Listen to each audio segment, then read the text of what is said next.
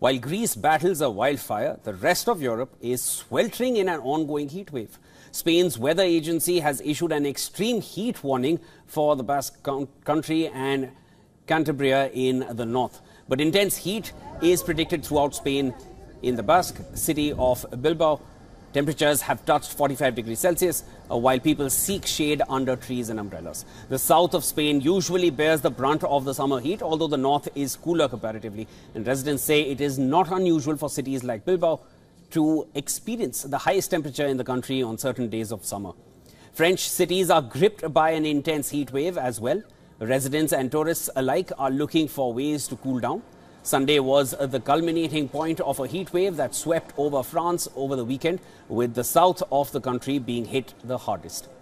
Now, in the southwestern city of Bordeaux, temperatures reached a peak of 39 degrees Celsius. Further north in Paris, temperatures rose up to 33 degrees Celsius.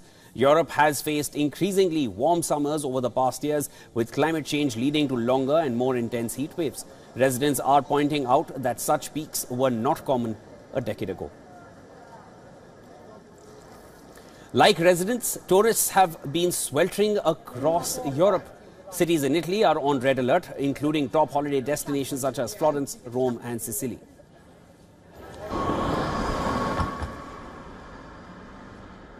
We've, we've travelled, we've been in Florence, we've been in Pisa, and now we've come here at the hottest weekend and I am struggling. I am very struggling. Uh, I also have to have an inhaler uh, because of the heat, etc., with my, my breathing. But I feel for everybody. Out of the 27 cities across Italy, 14 were on red alert on Sunday. Meteorologists say Rome has been under a continuous heat wave without interruption since the beginning of July. We've, we've travelled, we've been in Florence, we've been in Pisa, and now we've come here at the hottest weekend. And I am struggling. I am very struggling. Uh, I also have to have an inhaler uh, because of the heat, etc., with my, my breathing. But I feel for everybody.